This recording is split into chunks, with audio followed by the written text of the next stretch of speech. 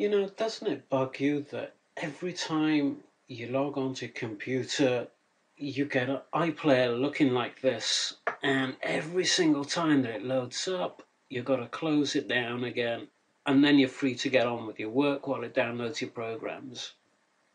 Well, in this video, I want to show you how you can uh, use the built-in Windows task set scheduler to actually close this down every time uh, every time you log into your machine. Um, so I'll just double check here. My startup run BBC. I want it to run at the startup, and then I want it to immediately minimize them. Uh, you know, once once I've logged on. So I'll go into uh, Windows command prompt just to show you how this is going to work now. Uh, type in CMD into the command line. Open up CMD and I'm going to use a built-in Windows command that's perfectly safe, but it's called task kill.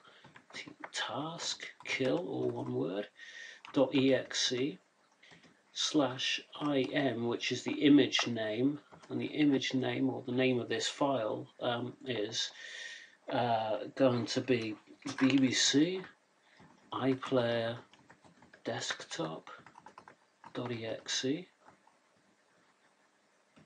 okay.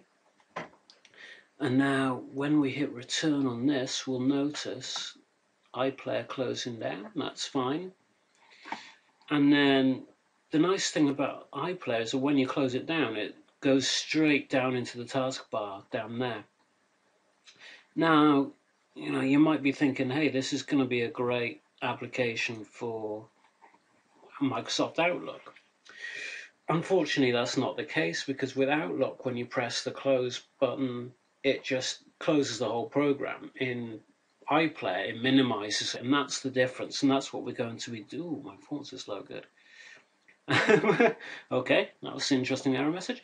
Okay, so yeah, with Outlook, it's going to close altogether. With iPlayer, it's going to minimize it, and it's, and it's just that minimizing that we want, and so we can kind of leverage that um, that ability for us to use uh, this task kill command. So the way we're going to do it now is we're going to go into our trusty old task scheduler. So type in task into your, into the start bar and it should come up the top there, task scheduler. And we're going to come in here and we're going to be creating a new basic task and we'll just run it every time we log onto the machine. So come down to task schedule library you can right click there and click create basic task or come over here and click create basic task. Doesn't really matter. It all opens up the same basic task wizard. Okay let's come on load up. There we go. Okay so give this uh, you know a useful name that you'll recognize next time you uh, you take a look at it. So I'm going to call this iPlayer minimize and um, you know you don't have to do with the description but you can do and just say I know minimizes um, BBC iPlayer at logon. Okay we can click next when you've done that. When do we want to we want it when every time we log in when I log on. Okay we can start a program. One that we typed into the command was kill exe uh, slash im for image name.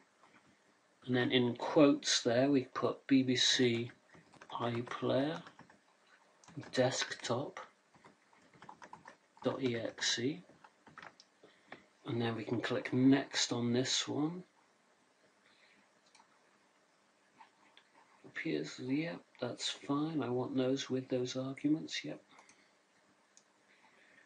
Okay, so I can just, that's perfectly fine. I want this out log on, it's going to, that's, yeah, my account there, which is my videos account, that's fine. I'll click finish on that one. An error has occurred from minimize error message. A task folder with this name already exists. Oh, great.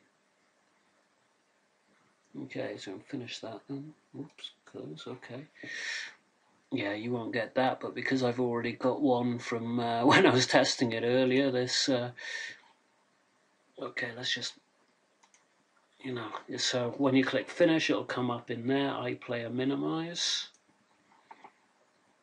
And let's just close that. Okay, so right click this and we just want to change a few of its properties before we actually run this. Uh, run only when the user is logged on, that's fine. I don't know why it keeps configuring it. Oh yeah, configure for Windows 7, yep, sorry, no, that's right. Trigger at log on. Okay, let's just edit this trigger. It should be in here, yeah. You can actually delay the task here for 30 minutes, one hour, eight hours. So we actually want, what I, reason I wanted to delay it is because I want iPlayer to fully load up and then to minimize once it's fully loaded up. It normally loads up in just a couple of seconds, so delay task for 30 seconds should be okay. If you have any problems, come back, change it to a minute, and that should be fine then. So uh, that's enabled, yep, that's fine. I don't want to repeat it, I only want it once at log on.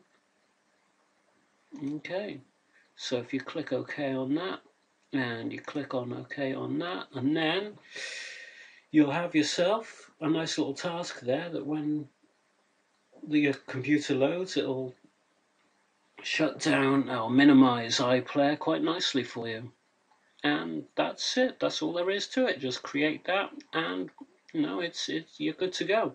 All right. Thanks for watching. I will see you in the next video.